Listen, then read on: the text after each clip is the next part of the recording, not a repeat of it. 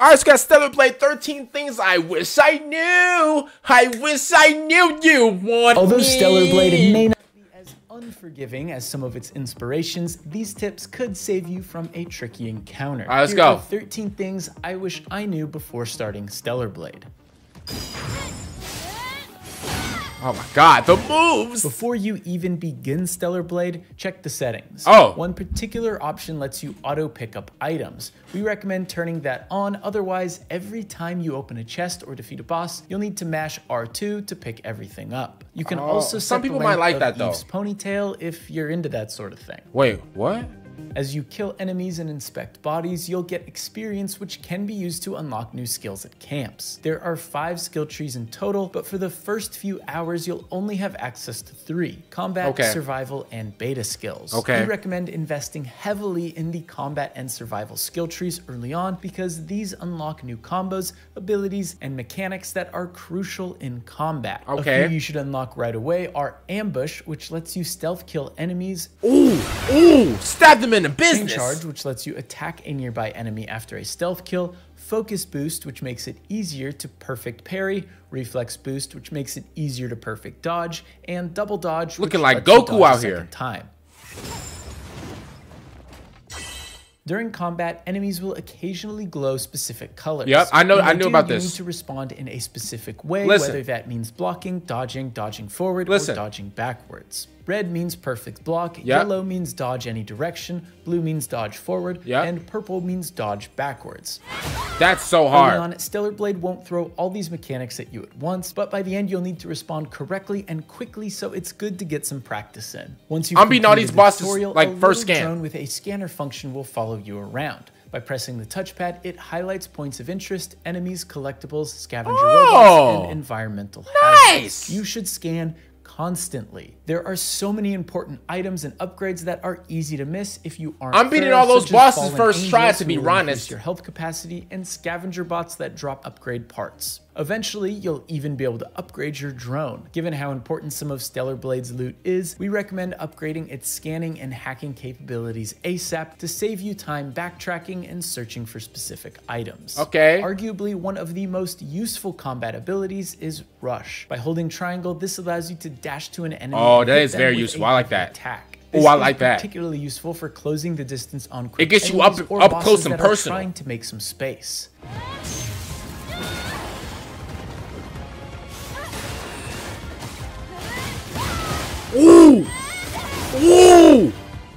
Can even upgrade the distance of this dash in the attack skill tree. Just keep in mind that this skill does have a short cooldown. Uh-oh. At least once you'll encounter a time when you said, I definitely parried that, only to learn that you were in the combo ender animation. Anytime Eve is in the middle of a normal attack string, she can dodge or parry at any time, making your defense easy to access. Wait, what? But as soon as you start the last attack of a combo, it locks you in, committing uh. you to that attack. Okay. making you extremely vulnerable. Okay, For the okay. longest attack string, which I like that, though. great defensive utility, use triangle, square, triangle, square without hitting the last triangle input to have a constant attack. Triangle, square, triangle, square. Okay. Defend yourself. I'm, I'm remember all Fast that. travel is a bit weird in Stellar Blade. As you explore each region, you'll come across payphones, ancient real-world relics that some players may recognize, which can be used to travel to other discovered payphones in that region. Make sure to interact with them whenever you find them in order to activate them. Meanwhile, some Oh, camps that's have hard. and others don't, so you can't fast travel to and from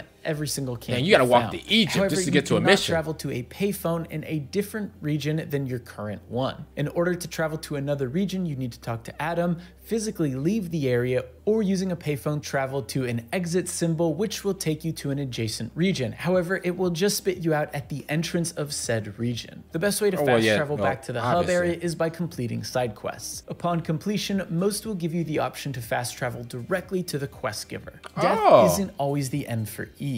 Throughout your journey, you can find and purchase pumps, which essentially let you revive Eve with full health once per life. Most vending machines sell these, and you're bound to find a few if you're diligently Oh, scanning your Oh, you over here buying health they like are tough Fortnite. to find early on and can be a bit expensive, but they can be incredibly useful in fighting some of the game's tougher bosses. She got destroyed. Stellar Blade has two types of side quests, ones that are designated as exclamation points on the map, and ones that can be picked up from a request board. We recommend doing as many exclamation point side quests as possible because these typically have better rewards and occasionally offer some unique items and unlocks. And apart from the rewards, most of these quests revolve around important characters in the hub world, and helping them can marginally affect the world and story. For example, Digger, the friendly scavenger robot you find in the Wasteland, has a side quest that culminates with a little guy setting up shop in the hub world. Another side quest unlocks a barbershop that lets you color and cut Eve's hair. On the other hand, Oh! the request board missions are Can I give her a fade? and clearly state the rewards. Speaking of Digger, the little robot is more than a cunning sales bot. You can exchange two broken weapon cores with him to receive a brand new one, which can be used to strengthen Eve's blade. To be honest, if you do the side quests, you should be able to find enough weapon cores to max out Eve's blade anyway, but this can be helpful if you're having trouble with certain enemies or bosses. Got Roadhog right here. Some merchants have an affinity level, which can be increased by buying items from them. Merchants! As you level up their affinity, they will increase their stock and give you some special missions. For example, Kaya, who owns Sister's Junk, sends you on a quest to find her sister. Increasing affinity is pretty easy to do, and if you want to unlock some cosmetics, we recommend spending most of your money at these shops. You'll hit a point in the story where Adam will tell you to tie up any loose ends in Xion because you may not be able to return for a while. What he should have said is that you won't be able to return at all. So if you're the completionist type, you should take his suggestion to heart. I half ignored it thinking I'd be able to go back after I rolled credits, but sadly that is not the case. Oh, it's There's GG's. also only one save slot per save file, so you can't hard save at this point and reload it later. One save. Number 13, spoiler mode. About halfway through the game, you'll unlock a somewhat spoilery special ability. If you'd rather leave it as a surprise, then click out now. Minor spoilers in three, two, I'm watching. one. I don't care. After you've defeated corrupted Tachy, you'll Yeah. unlock Tachy mode. This makes Okay. you invulnerable for a short period of time as Eve wallops on anyone and anything around her. It's a great offensive ability, but you can also save it for when you're in a pinch, since it makes Eve invulnerable for a short period of time. Oh! There's 13 tips that Gave him should the give you an 13 edge wing in combo. Blade. If there's any more tips you found, be sure to leave them in the comments below. And thank you so much for watching. Bro, this game is going to be fire. I don't want to hear nobody say nothing about the game. This game is going to be absolutely fire. It comes out today.